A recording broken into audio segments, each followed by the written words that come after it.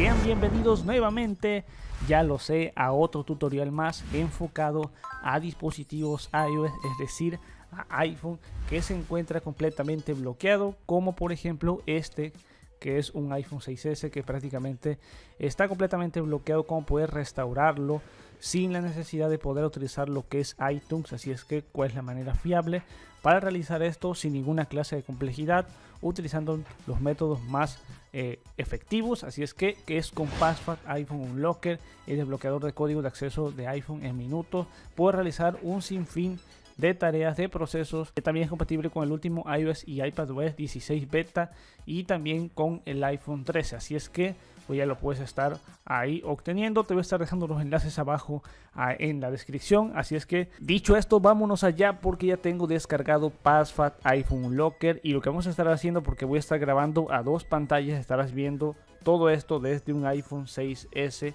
que prácticamente me encuentro con este error donde no puedo acceder a lo que es el dispositivo. Por lo tanto, ya ahí grabando a dos pantallas, pues ya tengo ahí lo que es el dispositivo, no pudiendo ingresar. Así es que ya tengo de este lado, el lado izquierdo, Passback iPhone Locker, eliminar ID de Apple, quitar el tiempo de uso en pantalla, omitir la administración de dispositivos, es lo que puedo hacer, aparte de poder desbloquear el código de seguridad y que obviamente podemos restaurar el dispositivo sin la necesidad de utilizar lo que es el iTunes. Así es que dicho esto, le damos ahí en iniciar, podemos dar el proceso selectivo donde se nos estará pidiendo que pues le demos ahí en aceptar los términos. Y claro todo esto va a eliminar todos los archivos que tengamos en nuestro dispositivo. Esto es muy claro que nos los advierta ahí. Así es que después de haber marcado lo que es el check le damos ahí en iniciar. Tenemos la opción de poder descargar lo que es el firmware. Podemos hacerlo a través del sitio web de psw.me donde podemos hacer uso de descargar el archivo poder descargarlo del propio programa el firmware o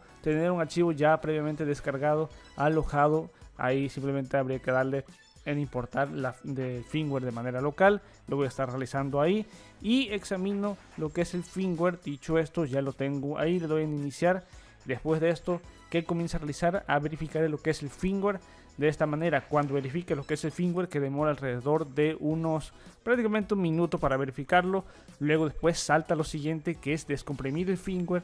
Ahora sí para llevar a cabo el proceso de quitar el código de seguridad que esto sí ojo demora alrededor de entre 8 a 10 minutos. Así es que mientras estemos realizando este proceso, entra en modo DFU. Posteriormente hay que esperar a que llegue hasta el 100% y después ya todo el proceso se va a llevar a cabo, pero desde el propio dispositivo. Así es que esperemos un poco a que se realice todo este proceso de eliminación. Mientras tanto, en la otra pantalla donde estoy grabando lo que es el dispositivo, bueno, ahí se estará reiniciando, estará cargando nuevamente lo que es el firmware, se está quitando el código de seguridad como nos advierte ahí Password iPhone Locker, así es que vamos a esperar a que se renueva por completo lo que es este código. Como he dicho, esto únicamente utilízalo, siempre lo advierto, con tus propios dispositivos y no con dispositivos de terceros, nunca para dañar la integridad de nadie y tampoco utilízalo en dispositivos de segunda mano ni en dispositivos que te hayan vendido. Así es que ya lo tengo ahí, el bloqueo se ha quitado con éxito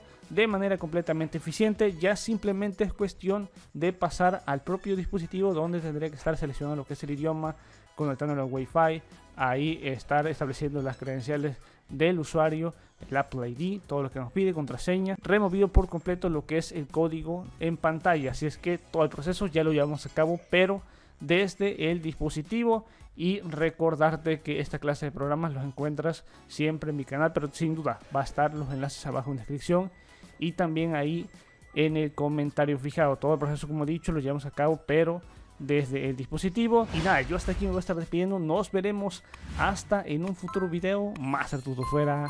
Sí, peace out.